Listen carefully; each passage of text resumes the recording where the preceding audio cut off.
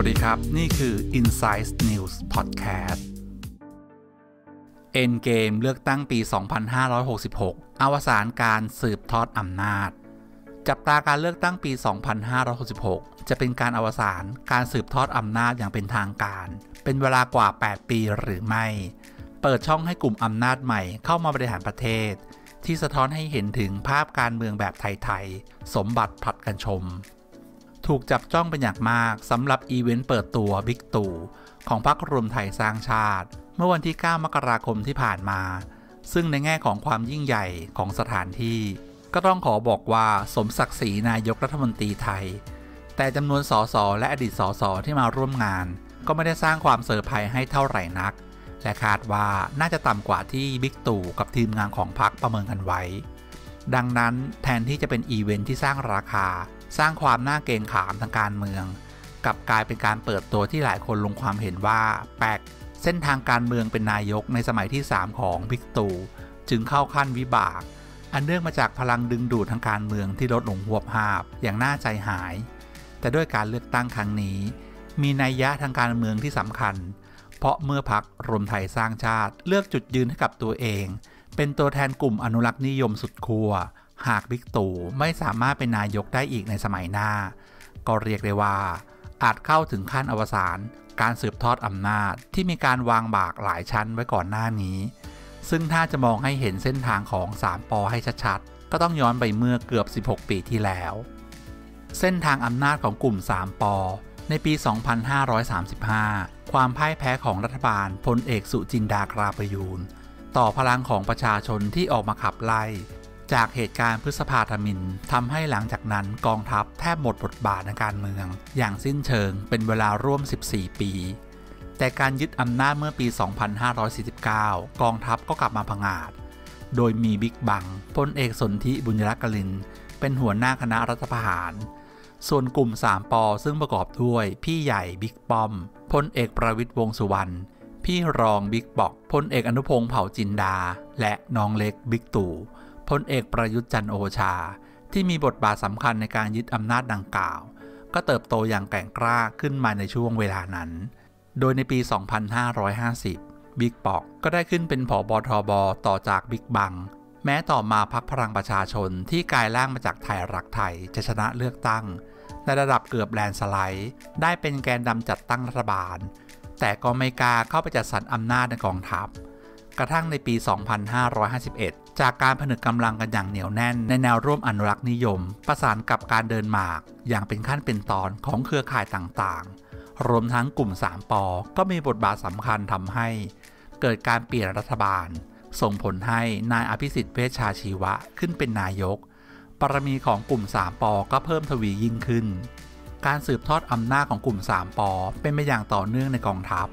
หลังจากบิ๊กปอกเกษียณอายุบิ๊กตู่น้องเล็ก ก็ก้าวขึ้นสู่ตำแหน่งผบทบ แม้ต่อมาในปี 2554 พักเพื่อไทยที่แปลงกายมาจากพักพลังประชาชนจะชนะเลือกตั้งแบบแลนสไลด์ ส่งผลให้นางสาวยิ่งลักษณ์ชินวัตรเป็นนายกรัฐมนตรีหญิงคนแรกของประเทศไทย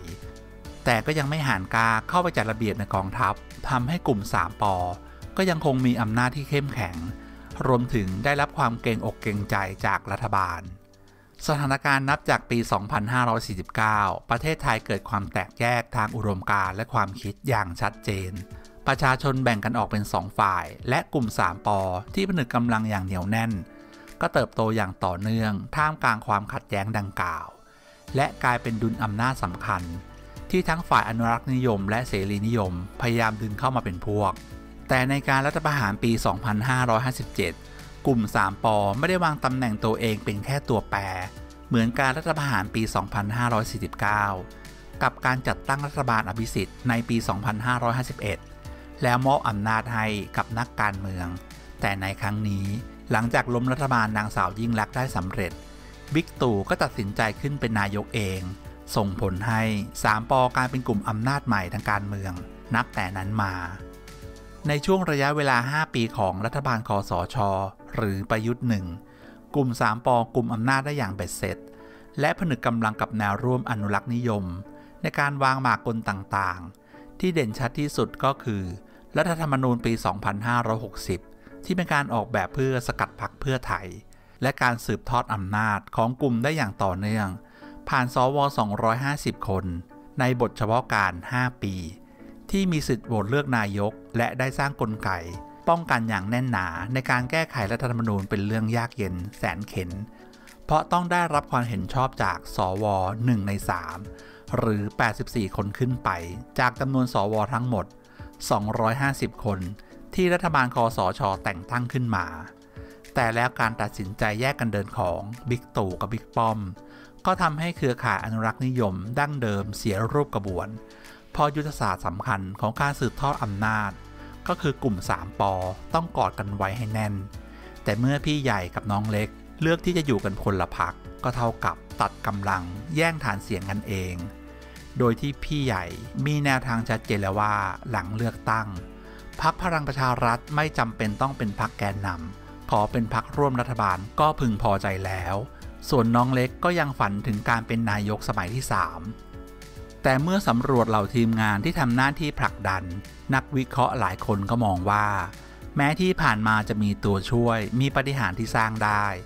แต่ครั้งนี้เห็นที่จะลำบาก เพราะแนวร่วมอนุรักษ์นิยม ก็พลอยตกอยู่ในอาการมึนงงไปด้วย ไม่รู้เลือกป้อมหรือเลือกตู่ทำให้สูญเสียความได้เปรียบทางการเมือง ที่มีการดีไซน์เอาไว้ก่อนหน้านี้จึงมีแนวโน้มว่าการเลือกตั้งครั้งใหม่ที่กำลังจะถึงนี้คือ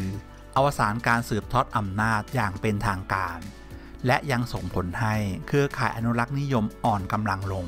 เปิดช่องให้เกิดกลุ่มอำนาจใหม่เข้ามาบริหารประเทศ ที่สะท้อนให้เห็นถึงภาพการเมืองแบบไทยๆ สมบัติผัดกันชมนั่นเอง ขอขอบคุณข้อมูลจากเนชั่นออนไลน์อย่าลืมกดติดตามหรือฝากคอมเมนต์ไว้ที่ใต้คลิปได้นะครับ ขอบคุณครับ